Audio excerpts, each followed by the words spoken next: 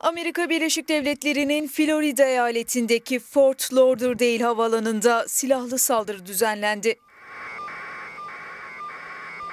Terminal 2'de meydana geldiği söylenen saldırıda silahlı bir kişinin kalabalığa ateş açtığı ve 5 kişinin ölümüne neden olduğu belirtildi. Yetkililer daha sonra saldırganın gözaltına alındığını duyurdu.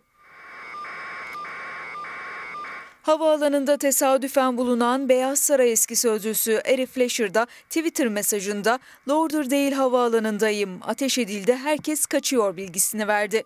Daha sonraki mesajında ise her şeyin kontrol altına alındığını duyurdu. Florida Senatörü Bill Nelson ise saldırganın kimliğini Esteban Santiago olarak açıkladı. Polisin olayın ardından bölgeyi kontrol altına aldığı, yolcuların ise tahliye edildiği belirtildi.